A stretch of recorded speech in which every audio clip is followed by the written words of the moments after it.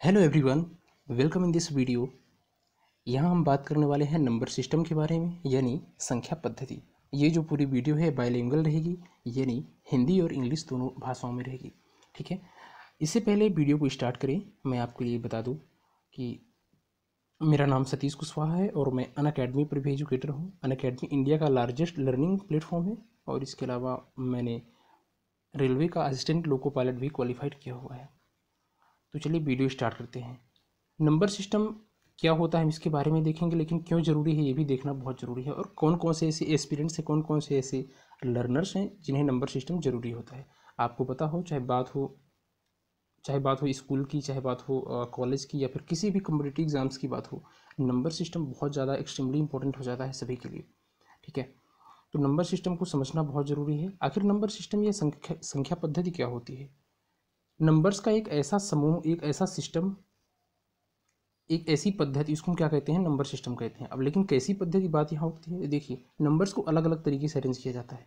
जितनी भी maths mathematics बनी हुई ज़ीरो से लेकर नाइन तक में जितने भी नंबर्स आते हैं वन टू थ्री फोर यहीं से लेकर बहुत सारे नंबर्स को अरेंजमेंट्स किया गया है नेगेटिव पॉजिटिव और इस तरीके से बना दिया गया है नंबर उन सिस्टम्स अगर उन नंबर्स को आप अलग अलग तरीके से रखेंगे एग्ज़ाम्पल मैंने बोला, जैसे वन थ्री वन और थ्री को आपने अरेंज किया, जिसको आप कहते हैं ऑड नंबर या विषम संख्या है, ठीक है? उसी तरीके से दो चार को आप अरेंज करेंगे तो आप उसको कहेंगे सम संख्या या इवन नंबर कुल मिलाकर नंबर सिस्टम के अंदर जो संख्याओं का जो पूरा समूह है, जो नंबर के नंबर्स का एक जो सिस्टम है, उसी से डिसाइड होता है कि उस नंबर्स को क्या कहा जाएगा। तो एक कुल मिलाकर क्या होता है? नंबर सिस्टम के अंदर नंबर का एक अरेंजमेंट्स होता है। उस अलग अलग अरेंजमेंट्स के हिसाब से हम अलग अलग नाम से जानते हैं। तो देखिए नंबर सिस्टम जो है उसके अंदर बहुत सारे नंबर्स होते हैं, उसको हम कहते हैं सम्मिश्र संख्याएँ, जिसको हम कहते हैं कॉम्प्लेक्स नंबर ठीक है? अब कॉम्प्लेक्स नंबर दो पार्ट में डिवाइड होता है। पहला होता है रियल नंबर दूसरा होता है इमेजिनरी नंबर जो हम जनरली स्कूल कॉलेज एक कम्पिटिटिव एग्ज़ाम्स में पढ़ते हैं, वो रियल नंबर होता है। फिर इमेजिनरी नंबर क्या होता है? इमेजिनरी नंबर को हम कहते हैं काल्पनिक संख्या, ये बहुत कम लोगों को पता है, और इसको हम आई से रिप्रेजेंट करते हैं आई रिप्रेजेंट्स आयोटा ठीक है? आई स्क्वायर की वैल्यू क्या होती है? माइनस वन होती है। लेकिन आपको ये सब याद नहीं रखना है। आपको बस प्रैक्टिकल तरीके से याद रखना है। आपको ये जानना ज़रूरी है कि आखिरकार इमेजिनरी नंबर यानी काल्पनिक संख्या का यूज़ कहाँ होता है? ठीक है? प्रैक्टिकल तरीके से। सॉरी तो देखिए, इसका जो यूज़ है fluid dynamics mapping control theory और क्वांटम मैकेनिज्म में इसका यूज़ होता है इमेजिनरी इमेजिनरी नंबर्स का। ठीक है? अब बात करते हैं रियल नंबर्स की। रियल नंबर को हम क्या कहते हैं? वास्तविक संख्याएँ कहते हैं। वास्तविक संख्याएँ दो तरीके की होती है, या तो दशमलव के रूप में होगी, या फिर पूर्णांक के रूप में होगी। अब दशमलव और पूर्णांक क्या होते हैं? पहले मैं आपको बता दूँ रियल नंबर का दायरा कितना होता है, उसकी लिमिट्स कितनी होती है तो माइनस इन्फाइनाइट से लेकर इन्फाइनाइट तक इसका दायरा होता है। ठीक है? अब डिसिमल की बात कर लेते हैं डिसिमल यानी क्या होते हैं? दशमलव होते हैं, ठीक है? और इंटीजर यानी क्या होता है? पूर्णांक। इंटीजर के लिए हम अगली स्लाइड में देखेंगे सारी चीज़ें। बस इस स्लाइड में हम समझने वाले हैं डेसिमल के बारे में, ठीक है? तो डेसिमल क्या होता है? एक तो रिपीटिंग डेसिमल हो सकता है, एक नॉन रिपीटिंग हो सकता है। अब इन दोनों में आखिरकार क्या डिफरेंस है? आइए देखते हैं। रिपीटिंग के अंदर क्या हो सकता है? जैसे कोई नंबर है, जैसे कोई number zero point three three three तो ये रिपीट हो रहा है। थ्री जो है बार बार रिपीट हो रहा है। तो आप इसको क्या लिख सकते हैं? थ्री बार बार रिपीट हो रहा है तो आप इसको लिख सकते हैं। थ्री का विनकुलम यानी थ्री का थ्री के ऊपर आप बार लगा देंगे। या आप इसी नंबर को क्या लिख सकते हैं? वन अपान थ्री तो आपने क्या देखा कि मैंने इसको लिखा है अपान के फॉर्म में पी अपान क्यू के फॉर्म में, ठीक है? इसको हम क्या कहेंगे? रेशनल नंबर कहेंगे। तो यहाँ से एक चीज़ निकल कर आती है कि जो रिपीटिंग डेसिमल्स होते हैं, उसको हम क्या कहते हैं? वो रिपीटिंग डेसिमल ही रेशनल नंबर बन सकती है और बनती है, ठीक है? जिसको हम पी अपान क्यू के फॉर्म में लिख सकते हैं। अंडरस्टैंड और ये भी हालाँकि दो तरीके की होती है। पॉजिटिव होती है निगेटिव होती है। रेशनल नंबर जो होते हैं परिमेय संख्या जो होती है, धनात्मक परिमेय संख्या और ऋणात्मक परिमेय संख्याएँ भी होती है, ठीक है? तो एक चीज़ आपको यहाँ से कुल मिलाकर क्या निकल के आई कि जिनको हम पी अपान क्यू के फॉर्म में लिख सकते हैं, उनको हम क्या कहते हैं? रेशनल नंबर या परिमेय संख्या। अब बात आती है नॉन रिपीटिंग कुछ ऐसे नंबर होते हैं जो रिपीट नहीं होते। एग्ज़ाम्पल के तौर पर मैंने लिया one five three four zero point one five three four आप देखेंगे सभी नंबर अलग अलग हैं रिपीट नहीं हो रहे हैं, ठीक है? रिपीट नहीं हो रहे हैं तो इसको हम क्या कहेंगे? Non repeating number non repeating decimal और नॉन रिपीटिंग डेसिमल को हम क्या कहते हैं? इरेशनल नंबर कहते हैं या अपरिमेय संख्या। क्यों? क्योंकि हम इसको पी अपान क्यू के फॉर्म में नहीं लिख सकते। राइट अब यहाँ सबसे बड़ी बात आती है जो जनरली सभी को पता है, जो बाईस बटे सात है, यानी इसको पी अपान क्यू के फॉर्म में लिख रहे हैं, बाईस बटे सात। तो बाईस बटे सात क्या हो जाती है हमारी? रेशनल नंबर हो जाती है, यानी परिमेय संख्या हो जाती है। और उसी तरीके से जो हमारा पाई होता है पाई क्या होता है? ये रेशनल नंबर या अपरिमेय संख्या। आपने इस स्लाइड में इतनी, इतना सीखा, ठीक है? आगे देखते हैं। अब जैसे कि मैंने आपको बताया था कि इंटीजर के बारे में हम अगली स्लाइड में देखेंगे, ये रहा इंटीजर और हम देखते हैं अगली स्लाइड में इसके बारे में, ठीक है? तो हम इंटीजर के बारे में प्रॉपर तरीके से सारी चीज़ें समझते हैं। अब इंटीजर क्या होता है गाइस इंटीजर को हम कहते हैं पूर्णांक। पूर्णांक के अंदर क्या क्या चीज़ें आएँगी? पूर्णांक को आप अगर संधि विच्छेद करें हिंदी में तो उसको हम क्या कहेंगे? पूर्ण अंक कहेंगे, ठीक है? तो इंटीजर क्या कहलाएगा बेसिकली पूर्ण अंक, जिसके अंदर ज़ीरो भी होगा यानी जिसके अंदर ज़ीरो भी होगा नेगेटिव इंटीजर भी होंगे पॉजिटिव इंटीजर भी होंगे इवन नंबर भी होंगे और नंबर भी होंगे, इन सभी को हम मिला देंगे तो क्या बन जाएगा? इंटीजर बन जाएगा। समझ पा रहे हैं? तो मैंने इंटीजर को और भी तरीके से मैंने इसको क्लासीफाई किया है। इवन नंबर के अंदर कौन कौन से आते हैं? जो जनरली दो से डिविजिबल हो, दो से भाग जिसमें चले जाएँ, जिसको हम सम संख्याएँ कहते हैं। तो ये कहाँ से स्टार्ट होती हैं? माइनस इनफाइनाइट से लेकर के minus four minus two zero two four, six, dash dash dash dash infinite तक। ठीक है? यानी सभी का आप देख सकते हैं, सभी जो है टू से डिवाइड डिविजिबल हो रही है। अब चाहे नेगेटिव नंबर हो या पॉजिटिव नंबर सभी को इवन नंबर कहेंगे, अगर वह दो से डिवाइड हो रही है, ठीक है? अब बात कर लेते हैं नेगेटिव इंटीजर की। नेगेटिव इंटीजर क्या होते हैं? देखिए, जो नंबर लाइन हम बनाते हैं, वो हम अगली स्लाइड में देखने वाले हैं। मैं आपको जनरली यहाँ बता दूँ ज़ीरो से लेकर लेफ़्ट साइड जितने भी नंबर होते हैं माइनस वन इधर आप जाएँगे minus two dash dash dash, आप जाएँगे इनफाइनाइट तक, ठीक है? माइनस इनफाइनाइट तक। तो ये सारी क्या हो जाएँगे? ये कहलाएँगे हमारी निगेटिव इंटीजर या ऋणात्मक पूर्णांक संख्याएँ, ठीक है? आगे बात करते हैं ज़ीरो, ठीक है? इसको हम ज़ीरो भी काउंट होगा इसमें। अभी सारी चीज़ें आपको क्लियर होने वाली है। पॉजिटिव इंटीजर की बात करते हैं। पॉजिटिव इंटीजर को हम हिंदी में कहते हैं धनात्मक पूर्णांक संख्याएँ। धनात्मक पूर्णांक क्या होती है? ज़ीरो से लेकर राइट साइड पे। इसलिए मैंने ज़ीरो यहाँ रखा रखा है। लेफ़्ट वाले हो जाएँगे नेगेटिव इंटीजर, राइट वाले होते हैं पॉजिटिव इंटीजर।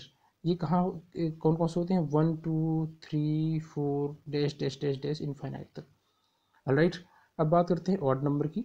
ऑड नंबर या विषम संख्याएँ कौन सी संख्याएँ होती हैं? ये ऐसी संख्याएँ होती हैं जो टू से डिविजिबल नहीं होती हैं। जैसे माइनस इनफाइनाइट से लेकर अगर आप आगे आगे आते हैं तो यहाँ हो जाएगा माइनस थ्री माइनस वन फिर वन थ्री फाइव तो आप देख सकते हैं ये नंबर जो है टू से डिविजिबल नहीं होते हैं। ये नेगेटिव भी हो सकते हैं पॉजिटिव भी हो सकते हैं। इन्हें हम क्या कहते हैं? ऑड नंबर कहते हैं या विषम संख्या कहते हैं। राइट तो उम्मीद है आपको चीज़ें समझ में आ गई होंगी। अब कुछ नंबर और होते हैं इसके अलावा, जैसे प्राइम नंबर ठीक है? अब प्राइम नंबर को हम क्या कहते हैं? अभाज्य संख्या कहते हैं। अभाज्य संख्या। प्राइम नंबर्स या अभाज्य संख्याएँ क्या होती हैं? आइए देखते हैं। ऐसी संख्याएँ जिसके केवल दो ही फैक्टर बने, जिसके केवल दो ही फैक्टर बने या जिसके केवल दो ही फैक्टर हों, उसको हम क्या कहते हैं? प्राइम नंबर कहते हैं। आप इसको एक और तरीके से समझ सकते हैं कि जो खुद से एवं एक से डिवाइड हो, उसको हम क्या कहते हैं? प्राइम नंबर एग्ज़ाम्पल के तौर पर हम लेते हैं, जैसे टू हो गया थ्री हो गया फाइव हो गया ये सारे कौन से नंबर हो गए? ये सारे प्राइम नंबर होते हैं। आप ध्यान रखेंगे ये इसके अंदर आप देखेंगे एक यहाँ ऑड इवन नंबर है, यहाँ ऑड नंबर भी है। किसी भी तरह का इसमें मिक्सचर हो सकता है, बस कंडीशन क्या रहेगी इसकी केवल दो ही फैक्टर बनेंगे। आप देखेंगे वन के जो टू है वन से डिवाइड होता है और टू से। उसी तरीके से जो फाइव है वन से डिवाइड होगा फाइव से। जिसके केवल दो फैक्टर बने। एक फैक्टर वन रहेगा, दूसरा फैक्टर वो खुद रहेगा, ठीक है? तो उस, ऐसे नंबर को हम क्या कहते हैं? प्राइम नंबर कहते हैं। यानी अभाज्य संख्या कहते हैं। इसके जस्ट अपोजिट एक और होता है कंपोजिट नंबर जिसको हम क्या कहते हैं? भाज्य संख्या कहते हैं। भाज्य संख्याएँ, वो संख्याएँ होती हैं जो खुद से जो संख्या होगी खुद से डिवाइड होगी वन से डिवाइड होगी और और किसी नंबर से भी डिवाइड होगी। या आप दूसरे तरीके से इसका डेफिनेशन कह सकते हैं, जिसके दो से अधिक फैक्टर बने, उसको हम क्या कहते हैं? कंपोजिट नंबर या भाज्य संख्या कहते हैं। जैसे अगर मैं कहूँ फोर तो फोर के कितने फैक्टर बनेंगे? देखिए, ये वन से भी डिवाइड हो जाएगा टू से भी डिवाइड हो जाएगा और फोर से डिवाइड हो जाएगा। तो यहाँ तीन फैक्टर इसके बने, ठीक है? इसके अलावा अगर आप देखते हैं सिक्स सिक्स भी टू से डिवाइड होगा, वन से भी डिवाइड होगा, थ्री से भी डिवाइड होगा और खुद सिक्स से भी डिवाइड होगा। इसके चार फैक्टर बने। समझ पा रहे हैं आप? तो इस तरीके से आप फैक्टर निकालेंगे चीज़ों का। अगर दो से ज़्यादा फैक्टर निकले तो आप समझ जाएँगे ये कंपोजिट नंबर है। तो ये बात हो गई भाज्य संख्या अभाज्य संख्या और भाज्य संख्या की। ठीक है?